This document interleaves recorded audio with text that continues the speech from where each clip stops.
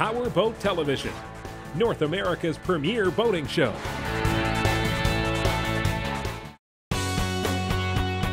Time for My Boat. Your instruments are a direct link to the status of your engines, so having a complete and accurate set is critical to the monitoring of your engine's health and long-term life. So this week on My Boat, we'll cover some troubleshooting tips and take you through a complete instrument package upgrade. Since the back of many panels are awkward to work on, I recommend that you start by removing the entire instrument panel from the helm side if at all possible for this project. A bad tach usually displays the following symptoms.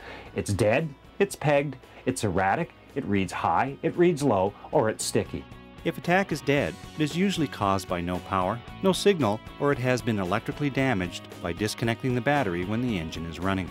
To test for a dead tach, first test for a power supply to the instrument's power and ground terminals with a multimeter to ensure 12 or more volts are present. Next, test to see if a signal is present by checking for a voltage reading between the signal terminal and ground of approximately 2 volts. If the tachometer is reading high or low, it's usually because the switch at the back has been set incorrectly for a four-cylinder, six-cylinder, or V8 in the case of a gasoline engine, or in the case of diesels, it's not been calibrated correctly. For troubleshooting most of your boat's other instruments, here's a few tips, starting with one for a sticky or stuck gauge. Start by loosening the nut on the mounting bracket on the back and loosen up the gauge to see if that frees the needle. Testing your remaining gauges, like this oil pressure gauge, is similar. First start by checking for 12 or more volts between the power and ground terminals. To test gauge operation in the sending units, first turn off the ignition and connect a jumper wire between the S or signal terminal and the G or ground terminal. When the ignition is powered on and the gauges register a full deflection under these conditions, it's good. If the needle only partially deflects, the gauge is faulty. Erratic readings are usually caused by bad wiring or connections, so the complete circuit must be traced and tested. To check the status of a sender, such as an oil pressure, water temp, or fuel gauge sender, remove the jumper, then locate the sending unit on the engine. Next, remove the sending unit lead wire from the unit and using a jumper, ground the signal wire to a good ground on the engine. When the ignition is turned on again, and if the needle fully deflects, the gauge is good and the sender may be at fault. Ultimately, if your gauges prove to be faulty or inaccurate, or are fogged or have that weathered look from exposure to the elements, you may wish to consider a complete new instrument package.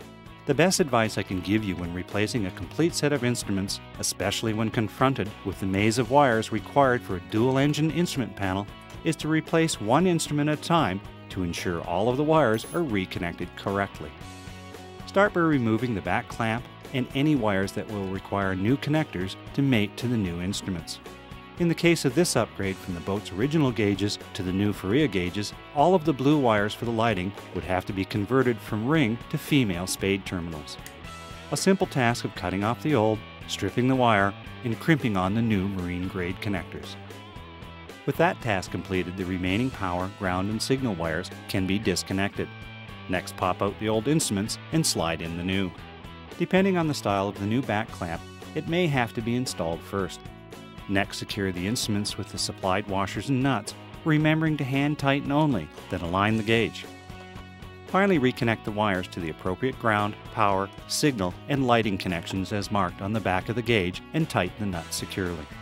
With one gauge complete, simply move on to the remaining gauges, one at a time until the job is done. Finally, with all of the gauges wired, reinstall the instrument panel fire up the engines, and check all of the gauges for accuracy. Well, there you have it.